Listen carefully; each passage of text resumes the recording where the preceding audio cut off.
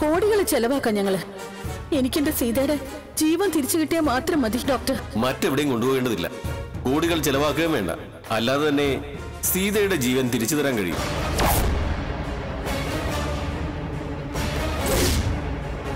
എന്റെ വിശ്വാസം അവൻ തന്നെയാണ് പ്രതിയെന്നാണ് വിശദമായി വേണ്ട രീതിയിൽ ചോദ്യം ചെയ്താൽ അവൻ കുറ്റം സമ്മതിക്കുകയും ചെയ്യും.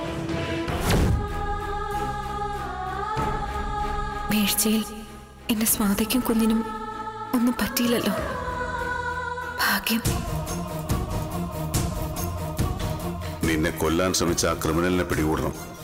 അതിന് വേണ്ടതൊക്കെ ചെയ്യണം. എന്നെ ഇവിടുന്ന് ഡിസ്ചാർജ് ചെയ്യുന്നതിന് മുൻപ് ആ ക്രിമിനലിനെ പിടികൂടിയിരിക്കും.